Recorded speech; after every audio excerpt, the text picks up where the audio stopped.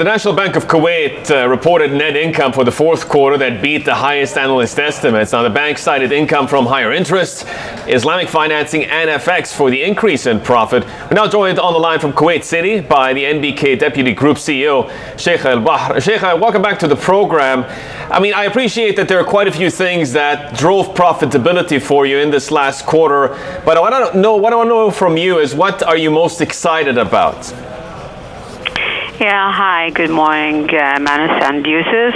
Uh, it's a pleasure to be with you today. Uh, well, basically, as you mentioned, I mean, fourth quarter is basically a continuation of the strong performance of full 2018. Uh, during the quarter, we reported net profit of uh, $324 million, and that's what 17% growth compared to the fourth quarter of 2017. In the context of the full year, which, uh, as I mentioned earlier, so similarly strong performance, our profit reached $1.2 billion, and this is record uh, level. Uh, the, the, balance sheet as well grew by 5.4. Our total assets $90 billion, over $90 billion, and loans and advances to clients increased by 6.9%, which is $51 billion and our deposits as well, uh, uh, 4.1. Sheikha, obviously uh, we can see all growth. of those numbers on, on, on the press mm-hmm. release. I suppose what Yusuf and I, as always, we want to take the story forward. We want to know where the biggest growth momentum is for you and where you see that coming. How's Egypt looking? How's Saudi Arabia coming? We'll circle back to the Kuwait numbers yeah, in a moment. Yeah, Talk yeah, to me about the growth in the other markets. Yeah, well, basically, uh, the driving uh, factors for the growth and profitability is basically our diversification and focusing on core banking activities. Uh, net interest income grew by almost 10%, and the fee and commissions grew by 9 uh, percent or 8.4.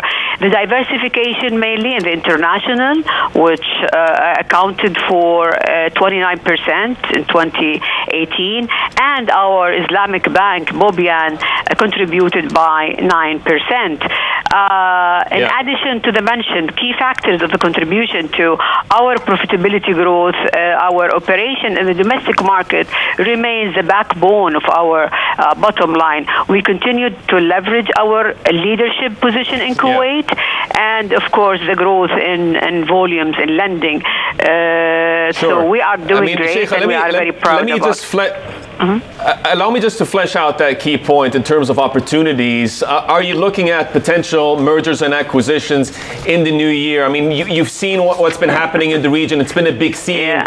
Can you see NBK taking part in that more? Yeah, well, basically, the focus is in you know uh, our growth within the existing markets.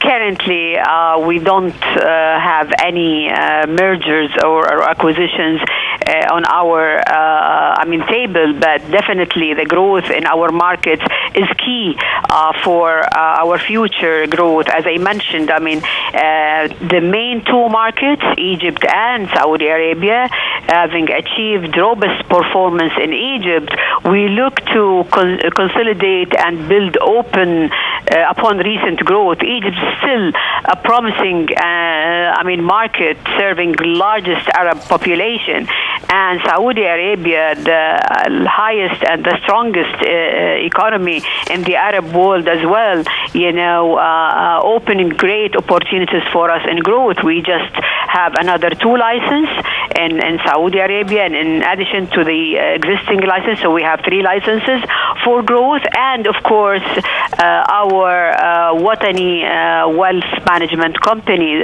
CMA license. So basically, the focus on our pillars in uh, AUMs, asset management, international, the IBG, and uh, regional expansion, and of course, Islamic banking.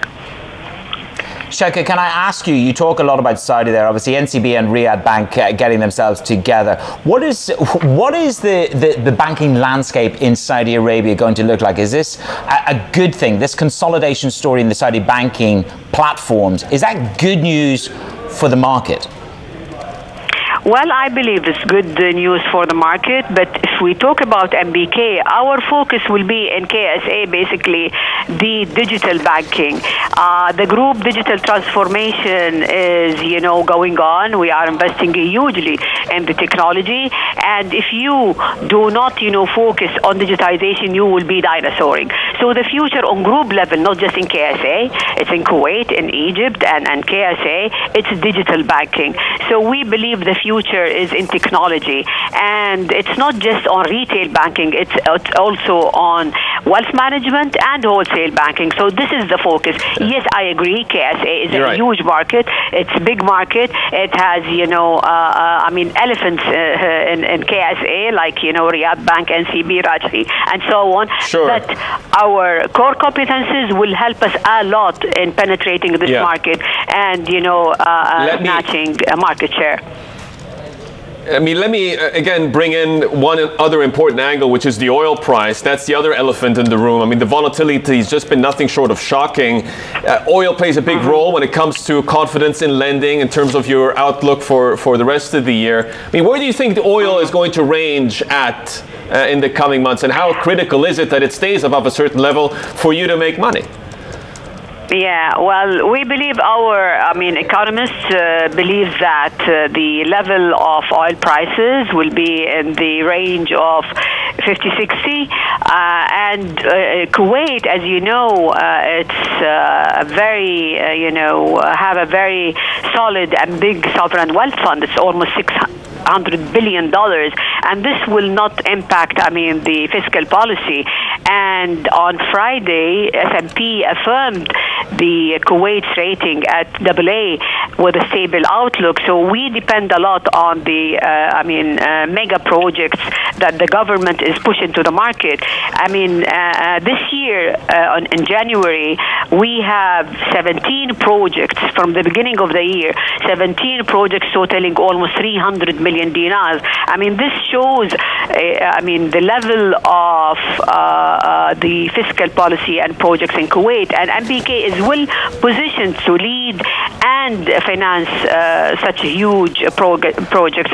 Last year, total projects reached almost seven billion dollars, and there are too many projects will be awarded this year and close in 2018.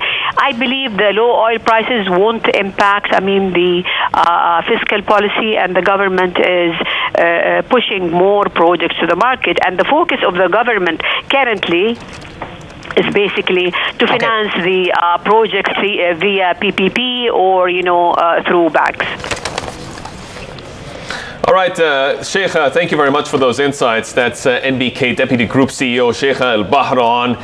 The latest when it comes to their numbers and some of the thoughts for the coming quarters as well.